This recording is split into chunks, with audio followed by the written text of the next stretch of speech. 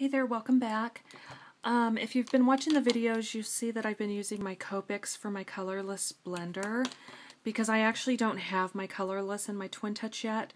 When I do get this, I'm actually going to get two of these in colorless probably because I want both of these tips that come with this in colorless. But then on when I get the other Twin Touch, I want to get it and I want to get some tips so that I can put on a brush tip as well because actually all three of those tips are super great to have on hand. Now I want to show you a great way to fix mistakes. Now I went in and right here I just added that green right there right outside of the image because you can take your colorless blender and when things like that happen you just take it and you're just going to push it back into the image. Now, if I had my heat tool right here, I'd zap my heat tool on it and that would dry that pretty much instantly. And then I would hit it again. I would just do that again, then hit it with my heat tool, and I would continue to do that until the color was gone. And eventually you won't have any color left right on that edge.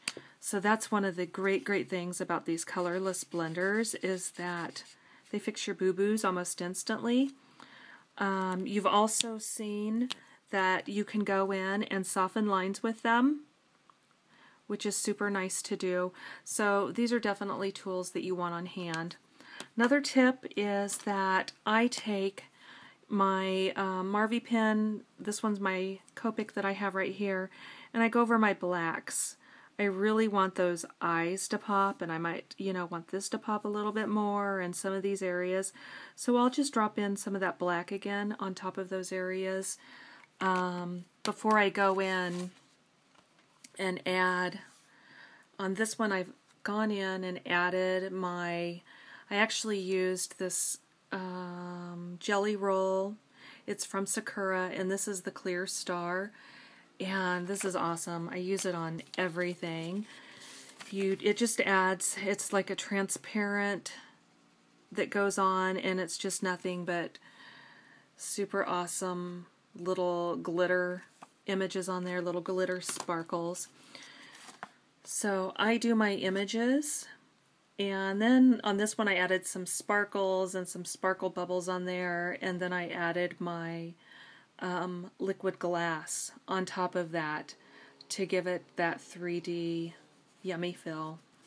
Um, I just dotted on those. I love that.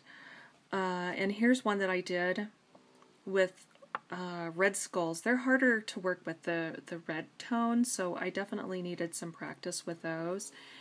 And here's the owl from that collection.